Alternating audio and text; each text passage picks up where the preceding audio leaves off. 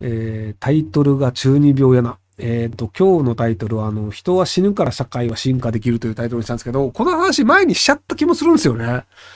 あの、別のタイトルの時に。な、したのか、このタイトルを使ったのかが覚えてないんですけど、どうやらあの、リアクション的になかったので、多分タイトル使ってなかったのかと思うんですけど、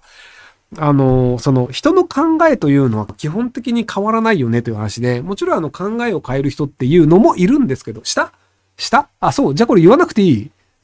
また聞かせてすいません。なので、あの、人の考えを変えるっていうのが、まあ、なかなか難しいよねっていうので、で、あの、じゃあ、社会の考え方が変わる時っていうのは、古い考えの人が死んで減った時なんですよね。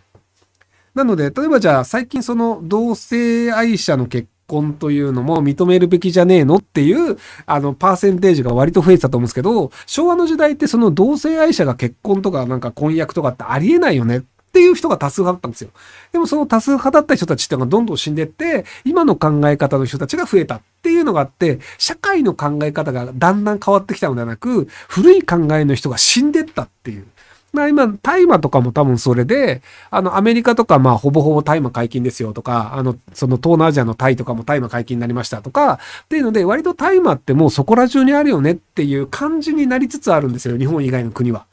でも日本の場合ってまだ、いやいや、大麻ってあのやばいなんか覚醒剤とかと一緒のやつでしょっていうのがあって、で、じゃあその人たちが、その麻薬とか大麻とかが、あの、解禁にした方がいいよねってなることは多分ないんですよ。なので、その人たちが死んでって、で、若いうちにじゃあヨーロッパで生活してましたとか、じゃあ海外のニュース見てますっていう人だと、あ、でも別に大麻産業でアメリカってなんか何兆円も儲けてるんだったら産業としてやればいいんじゃねえの？別に俺は大麻吸わないけどねっていう感じの人が増えてって、結果として社会が認めるって方向になったりするので、なので、あの、考えを変えるというのは無理だけど、まあ人は死んでいくので、あの、社会というのが変わっていくという話なんですけど、じゃあなんでこのタイトルにしたかっていうと、日本人平均寿命長いんですよ。